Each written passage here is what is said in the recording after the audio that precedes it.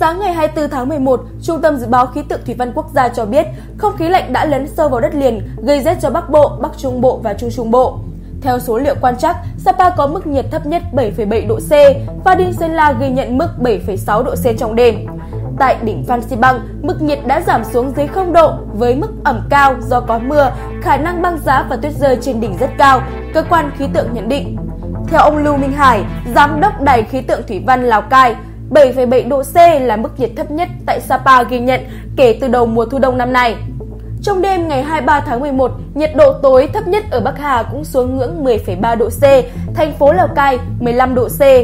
Cùng với Lào Cai, các khu vực vùng núi phía Tây Bắc chìm trong rét đậm và rét hại. Hiện, khu vực Tây Bắc Bộ có mưa, cảm giác rét bút gia tăng do nhiệt độ giảm 1 đến 2 độ C so với hôm qua. Mưa tập trung ở Lai Châu, Điện Biên, Lào Cai và phía Bắc Sơn La. Chuyên gia cho biết, không khí lạnh tác động đến khu vực vùng núi phía Bắc có cường độ ổn định nên khu vực tiếp tục rét sâu trong ngày và đêm nay. Từ ngày 25 tháng 11, không khí lạnh có xu hướng suy yếu khiến nhiệt độ tăng dần. Tại Hà Nội và Đồng bằng Bắc Bộ, trạng thái rét cả ngày lẫn đêm chỉ kéo dài trong hôm nay. Từ ngày 25 tháng 11, thời tiết khu vực nắng giáo, nhiệt độ ban ngày tăng cao lên ngưỡng 22 đến 24 độ C, rét lùi về đêm và sáng sớm. Trạng thái chênh lệch nhiệt lớn giữa ngày và đêm có thể kéo dài đến cuối tuần. Cùng lúc, miền Trung tiếp diễn mưa lớn, ngày và đêm 23 tháng 11, nhiều nơi từ Quảng Trị đến Khánh Hòa ghi nhận lượng mưa trên 180 mm. Ảnh hưởng của không khí lạnh kết hợp với nhiễu động trong đới gió đông trên cao, ngày và đêm nay 24 tháng 11, khu vực từ Thừa Thiên Huế đến Khánh Hòa có mưa lớn với lượng phổ biến 40 đến 80 mm trên một ngày, có nơi trên 100 mm trên một ngày. Ngoài ra, ảnh hưởng của rìa phía Bắc rãnh áp thấp, mưa rông cũng xuất hiện ở Ninh Thuận, Bình Thuận và Nam Bộ. Lượng mưa được dự báo từ 30 đến 50 mm trên một ngày, có nơi trên 70 mm. Cơ quan khí tượng cảnh báo khả năng xuất hiện lốc, xét, mưa đá và gió giật mạnh, lũ quét sạt lở đất nguy cơ xảy ra tại khu vực vùng núi và ngập úng cục bộ tại các vùng trũng, thấp ven sông. Dạng sáng ngày 22 tháng 10, không khí lạnh đã ảnh hưởng đến vùng núi phía Bắc. Những giờ tới, hình thái này sẽ ảnh hưởng đến các tỉnh, thành phố đồng bằng Bắc Bộ, sau đó mở rộng ra những nơi khác ở Bắc Trung Bộ và Trung Trung Bộ. Theo Trung tâm Dự báo Khí tượng Thủy văn Quốc gia, ảnh hưởng của rãnh áp thấp bị nén bởi không khí lạnh, mưa rông xuất hiện nhiều nơi ở miền Bắc trong hôm nay. Ngày 22 tháng 10, thời tiết Bắc Bộ và Thanh Hóa chuyển rét với nhiệt độ thấp phổ biến từ 14 đến 17 độ C, vùng núi từ 10 đến 13 độ C, kèm theo mưa rào và rông, trong khi khu vực núi cao có thể xuống ngưỡng thấp nhất dưới 8 độ C. Vùng núi cao như Sapa, Lào Cai, khả năng ghi nhận mức nhiệt thấp nhất là 7 đến 9 độ C, ngưỡng rét hại trong đêm. Ban ngày, nhiệt độ cao nhất dao động từ 11 đến 13 độ C, trời rét đậm. Mức nhiệt này cũng phổ biến ở nhiều khu vực miền núi phía Bắc trong những ngày tới.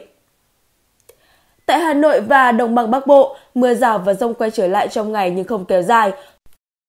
Khu vực trời rét với nhiệt độ thấp nhất ở ngưỡng 14 đến 17 độ C, rét nhất kể từ đầu mùa. Ban ngày, nhiệt độ cao nhất 20 độ C. Từ ngày 23 đến ngày 24 tháng 11, mưa rông kết thúc, miền Bắc bước vào hai ngày rét nhất của đợt này. Nhiệt độ trong ngày chỉ ở ngưỡng 18 độ C và xuống mức thấp nhất là 14 độ C trong đêm. Từ ngày 25 tháng 11, thời tiết Hà Nội chuyển nắng ấm khi nhiệt độ tăng lên cao nhất 24 độ C. Ban đêm, trời chuyển rét đậm từ 14 đến 15 độ C, chênh lệch nhiệt độ giữa ngày và đêm lớn. Người dân cần mặc áo ấm khi ra đường vào sáng sớm hoặc tối muộn. Trạng thái này khả năng duy trì đến hết tháng 11. Cùng lúc, cơ quan khí tượng cho biết ảnh hưởng của không khí lạnh kết hợp nhiễu động gió đông trên cao nên Trung Bộ xuất hiện mưa lớn trong những ngày tới. Từ sáng ngày 22 đến hết ngày 23 tháng 11, mưa rông xuất hiện ở phía nam Nghệ An đến Quảng Bình với lượng phổ biến 50 đến 100 mm.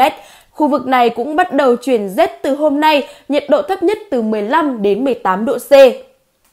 Cùng lúc, từ Quảng Trị đến Quảng Ngãi, mưa lớn kéo dài, phổ biến từ 100 đến 250 mm một đợt, có nơi trên 300 mm.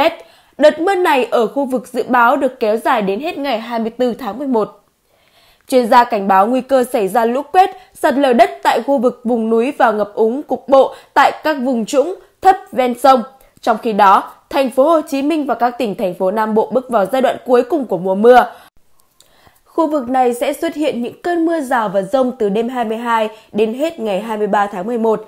Thời gian mưa tập trung vào chiều tối với lượng 30 đến 50 mm trên một ngày, có nơi trên 70 mm trên một ngày.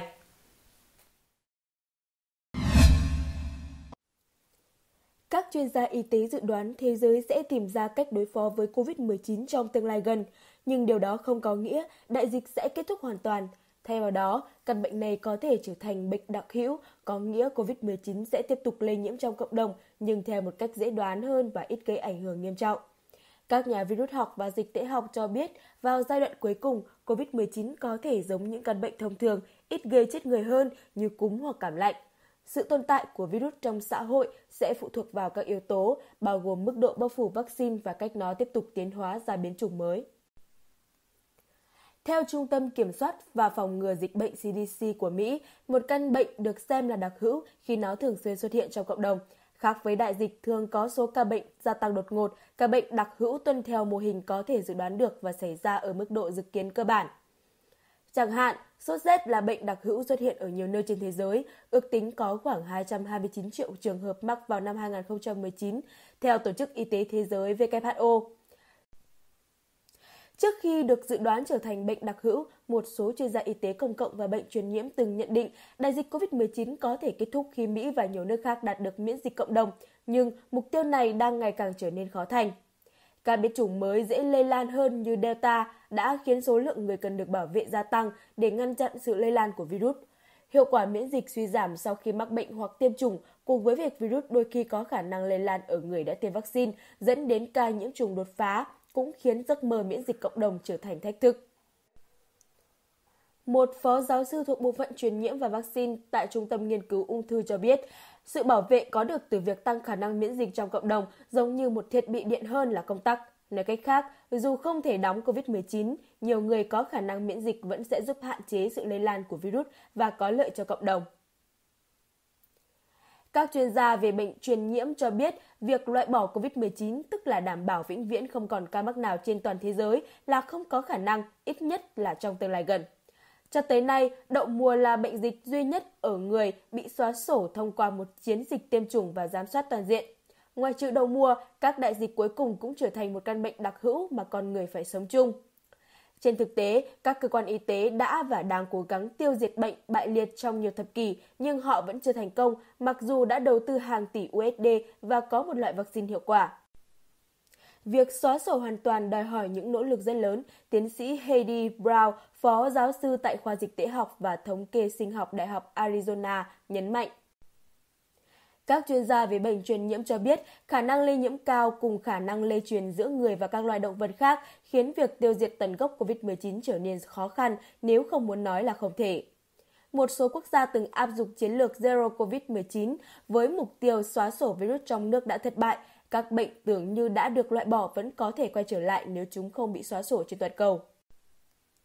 Sởi từng được cho là đã biến mất ở Mỹ từ năm 2000, dù vẫn còn phổ biến ở một số nơi khác trên thế giới, nhưng đến năm 2019, căn bệnh này đã quay trở lại sau khi dịch bùng phát chủ yếu ở New York.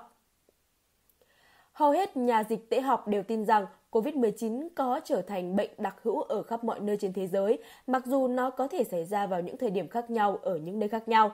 Các chuyên gia kỳ vọng rằng những quốc gia đầu tiên thoát khỏi đại dịch sẽ là những nơi có tỷ lệ tiêm chủng cao như Đan Mạch và Bồ Đào Nha. Tuy nhiên, một số người cảnh báo rằng SARS-CoV-2 vẫn là một loại virus khó lường và còn quá sớm để dự đoán sự hiện diện của COVID-19 trong tương lai. Cho đến khi các nhà dịch tễ học có thể cho bạn biết điều gì sẽ xảy ra trong tương lai mà không còn những cảnh báo về sự không chắc chắn, thì chúng ta vẫn đang ở trong tình huống dịch bệnh, tiến sĩ Brown nói.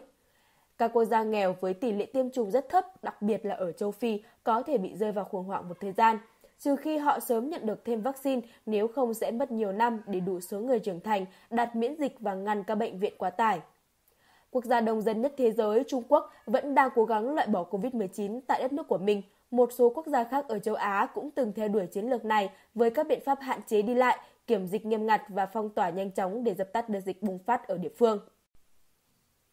Nhưng biến chủng Delta dễ lây lan hơn, khiến con người nhận thức được rằng vaccine không hoàn toàn ngăn chặn sự lây nhiễm và cái giá về mặt kinh tế xã hội đã khiến hầu hết quốc gia từ bỏ chiến lược Zero COVID-19.